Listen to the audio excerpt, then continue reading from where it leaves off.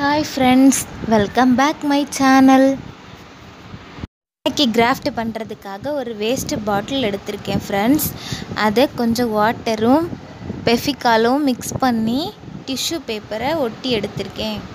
இது மேலே கடல் மணல்லேருந்து சலிச்சு எடுத்த சிப்பிகளை ஒட்டியிருக்கேன் ஃப்ரெண்ட்ஸ் உங்ககிட்ட இது மாதிரி சிப்பிகள் இருந்தால் யூஸ் பண்ணிக்கோங்க.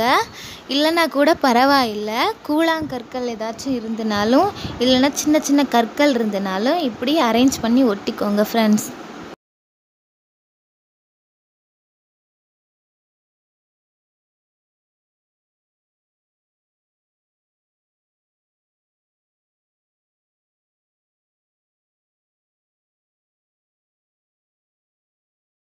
இது மாதிரி ஒட்டி நல்லா காய வச்சிடுங்க ஃப்ரெண்ட்ஸ் அதுக்கப்புறம் நான் கொஞ்சம் க்ளே எடுத்திருக்கேன் ஃப்ரெண்ட்ஸ் அது பெஃபிக்ரில் கம்பெனி மோல்டிட் க்ளே ஒரு பேக்கெட்டை பிரித்து பார்த்தீங்கன்னா அதில் ரெண்டு பேக்கெட் இருக்கும்.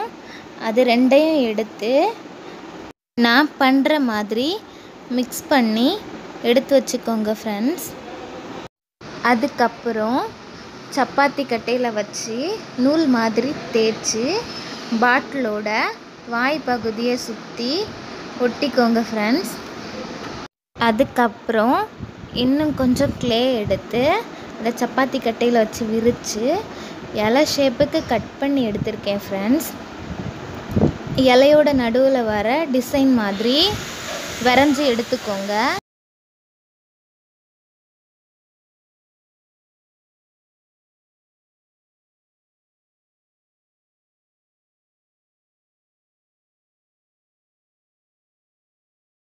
ரெடி பண்ணி வச்சுருக்கிற இலைகளை பாட்டிலோட வாய் பகுதியில் நான் ஒட்டுற மாதிரி ஒட்டி எடுத்துக்கோங்க.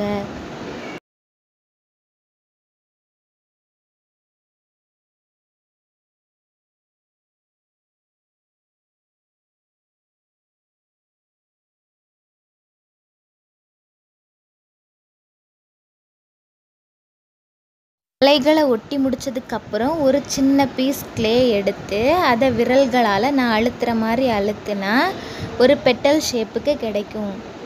அதே மாதிரி அஞ்சு பெட்டல் எடுத்து வச்சுக்கோங்க ஃப்ரெண்ட்ஸ் அஞ்சு பெட்டல்ஸ் செஞ்சு முடித்ததுக்கப்புறம் ஏற்கனவே நாம் ஒட்டி வச்சுருக்க இலைக்கு மேலே அதை ஃப்ளவர் ஷேப்புக்கு ஒவ்வொன்றா அரேஞ்ச் பண்ணி எடுத்துக்கோங்க ஃப்ரெண்ட்ஸ் இந்த வீடியோ பார்த்தாலே உங்களுக்கு புரியும் நான் என்ன பண்ணியிருக்கேன்னு.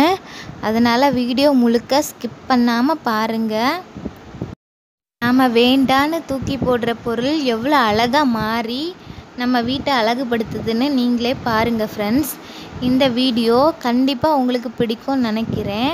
அதனால் ஸ்கிப் பண்ணாமல் கடைசி வரைக்கும் பாருங்கள் ஃப்ரெண்ட்ஸ்